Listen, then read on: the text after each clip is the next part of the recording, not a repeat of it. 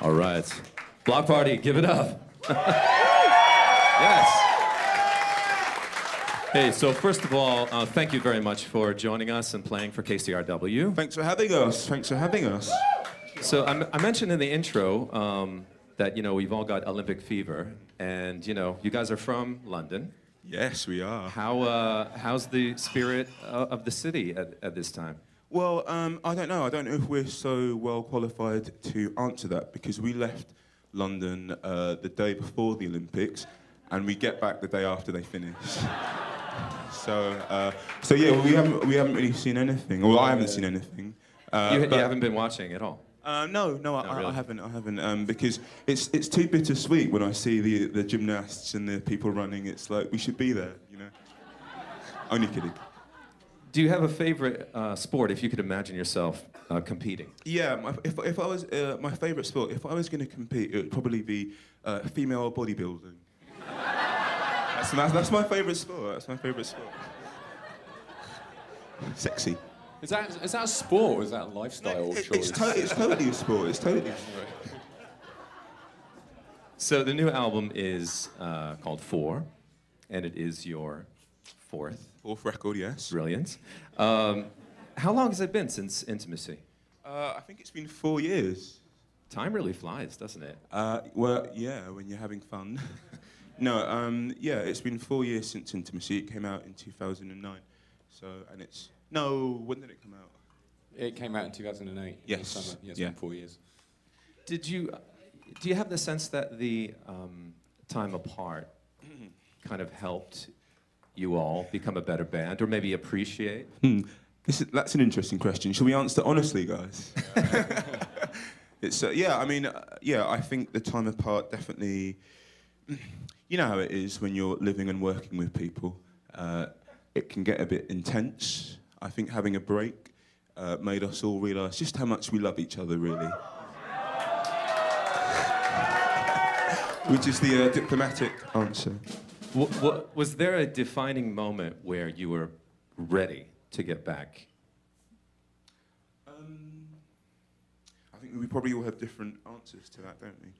Um, well, I knew towards the end of 2010 that I missed uh, my bandmates, and I wanted to, you know, I was learning, I was, I was touring, and I was performing, and I was learning a lot about uh, what I do, and I thought it would be nice to share it with the people that I started playing with in the first place. How did you um, first kind of begin again? Did you just all get together and so, okay, we're going to set aside some time and start writing again?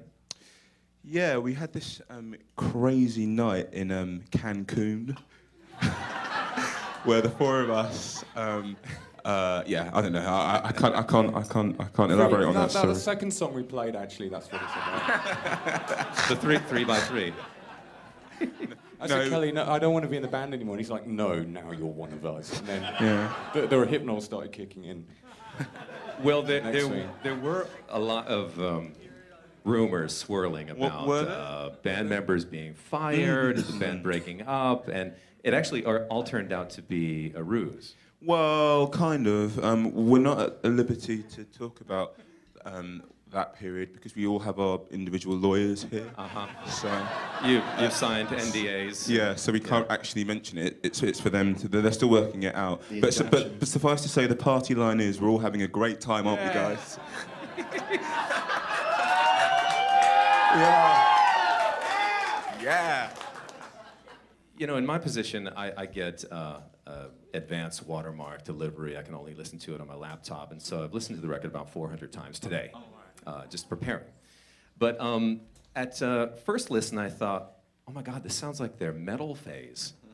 Seriously, it's like there are a lot of uh, muscular guitar riffs and big solos that seem like a little bit of a different direction. Is that is that accurate, or is this your metal phase? Our metal phase. Um, yeah, you know, I think it's. I, yeah, I think there are moments of uh, musculature, um, but it's also very tender. I, I, I think it's probably our most. I think some of our most tender songs are on this record, and uh, I don't know. You know, it's it's opposites, isn't it? You have, you know, uh, we we always kind of veer from from opposites. Um, veer between extremes. And uh, I see it. I you know I guess it is probably heavy, but I see it as our most tender record, our most heartfelt. Yeah, I mean, the, the, there's a real snarl in some of the songs. Like Three by Three has has you. I mean, your vocal style is it's a real uh, snarl. So uh, yeah, uh, I don't know. Uh, yeah, it's. I, I guess it's quite tough. It's quite hard. I think it's quite hard for us uh, to hear it maybe the way other people hear it because we have obviously we all, all have our own memories of making the record and um, you know what we put into it. So you know, I don't know. Uh, metal. That, that's interesting. Did you like metal? No. well, I guess. I guess you guys will probably be the judge of that when we play some more songs, right? Is this is this metal? Have any songs started to uh, reveal themselves as either band favorites or fan favorites? Um, uh, okay, looking at this list, what what is your favourite, Gordon? Team A. Team A, which we haven't played yet, which is a good one. Yeah, I think Team A. That's one that gets. Team A. Yeah, well, they all- they all do. They all people seem to be. It's like the bridge song almost because it, it turns it, like halfway through it shifts and becomes very heavy, but it, it also is the one that sounds most like kind of like Yeah. earlier. Like rhythmically, it's kind of reminiscent of some of the stuff on Silent Alarm. Yeah, Team A. That's the fourth one we're going to play, guys. So you uh, keep your ears peeled for that one. One song I really like on the record is um, Valis or V A L I S. Yes, Valis. Yeah. What what does that stand for? Uh, what's it stand for? Uh, well, it's the title of a Philip K. Dick book um, that I was reading at the time of writing the record. Uh, and I think it stands for Vast Artificial Life uh, Intelligence, something satellite, I think. I think, uh, don't quote me on that, uh, guys. But it's, it, was a very, it was a very illuminating book that I read during the recording period, and I, I wanted to pay homage to that. Now I know you just came in from Hawaii, which Hawaii, is yeah. a very nice way to ease into the the U.S. Um, you're here for the Hard Summer Festival on Friday. What party go hard? Which is interesting because that um, event is so much more of you know ele- an electronic and a DJ-driven thing. I think maybe the only other band is Little Dragon. Meek, Chromeo, Mike yeah. Snow? Miike Snow's Uh, yes, yeah, yeah, yeah, yeah, definitely.